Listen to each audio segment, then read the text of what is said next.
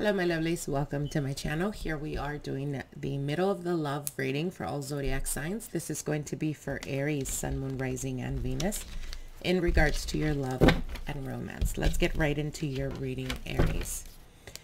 Okay, now you're starting off with the Seven of Cups, the Four of Pentacles, the Two of Pentacles, the Three of Cups, the Four of Wands, and the three of wands. Okay. Now your partner's cards is the death card the page of pentacles the strength card the hanged man the knight of cups and the two of wands. Okay. All right. So Aries, how you're viewing the situation or the person of your interest. There's a lot of confusion going on with you. Uh, for some of you guys, it could be confusion in regards to um, perhaps not really understanding or not really knowing how to communicate with the person of your interest or with your partner. Now, the Four of Pentacles does talk about beholding or wanting to behold. I feel that for some of you guys, you see this person very reserved or for uh, for some of you guys, this could even represent like uns uh, being unsure in regards to what it is that they want. With the Two of Pentacles, a lot of inconsistency. So it could be that communication is not as great or ideal as you would want. For others of you, this could represent almost a feeling like they only communicate or they only reach out um, when you do. So it's almost a feeling like kind of like hard work or putting too much work into the situation with the three of cups and the four of wands. I see for some of you guys, um, it could be that it's, it, it, this is a person that is very connected to their family life or to the family dynamic. So it could be a person that is very reclusive in regards to, um, not only their everyday life, but they could be like extremely, family is very important to them. Now, the reason why this is coming up is with the three of wands. For some of you guys, you're wanting expansion or you're, you're wanting to move forward in this relationship. Um, perhaps for some of you Aries as well, uh, commitment or monogamy could be an issue it's almost like you're constantly asking yourself if this is something that you would be willing to either put the effort or either be uh, almost like being pulled towards there's something about you aries um that i'm sensing like resistance. So it could be that you're unsure if you want something long term as an example if this person is very connected to the family dynamic um, it's almost as if like you you know that they're not the type to either rush into relationships or they're not the type uh, to take you know casual dating to them it, it, it's something that has to be nurtured and perhaps there's a bit of resistance in this aspect with you aries so the question here uh, then becomes um, is it insecurities about yourself that are currently influencing this connection? Is it that you perhaps feel like you're unsure or not really, um, not necessarily, you know, sure or positive that you're wanting this to turn into something long-term? Now, for those of you guys that are in a long-term committed relationship, I feel that for some of you guys outside uh, people from your relationship could be currently influencing. It could be relatives. It could be people that are around your partner and you almost see it as, uh, you know, that they really take their advices uh, or people that come to them and give them advice in regards to the relationship, they kind of take it at face value.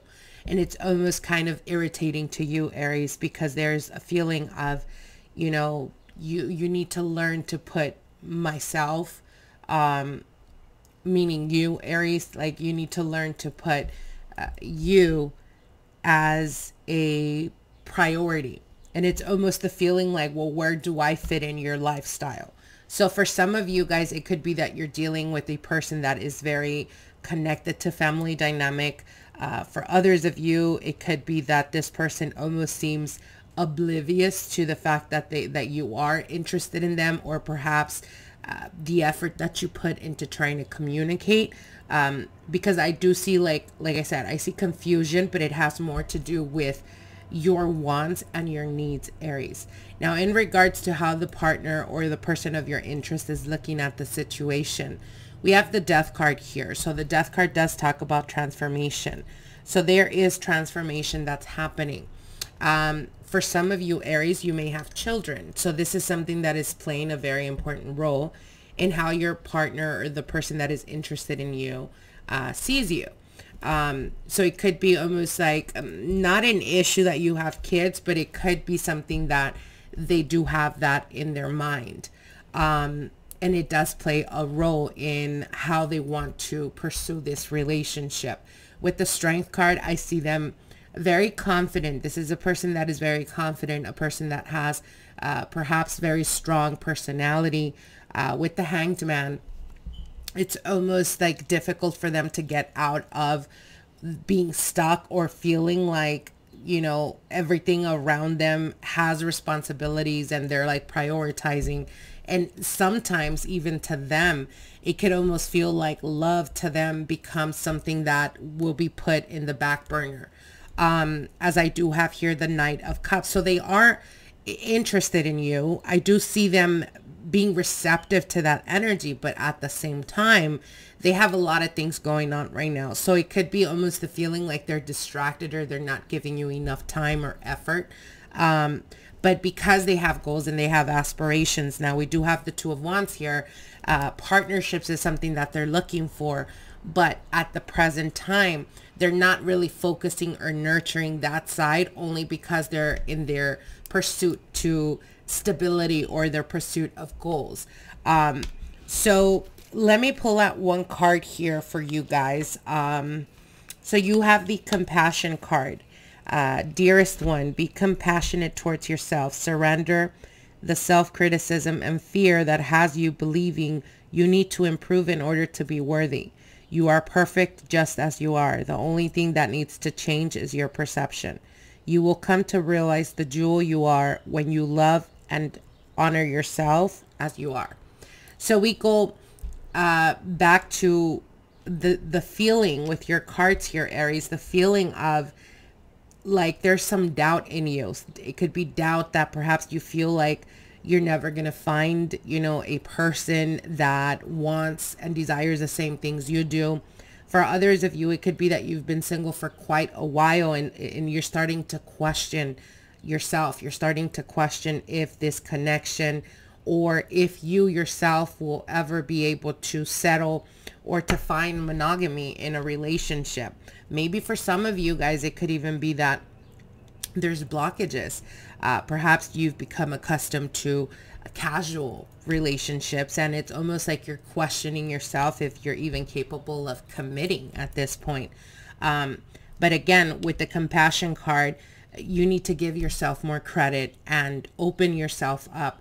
If in the past with the death card, you tried a relationship or it's been a turbulent relationship and it just hasn't worked out, it doesn't mean that it's not you know, that you're not going to be able to find the stability. Perhaps you're just hoping for other people to change. And that's where you need to step back and, you know, kind of self-realize uh, that some people just don't want to change. And sometimes we got to walk away from that to be able to go towards something new and something that is going to give you uh, grander results. All right. I hope you guys enjoyed this reading and we'll see each other soon. Bye.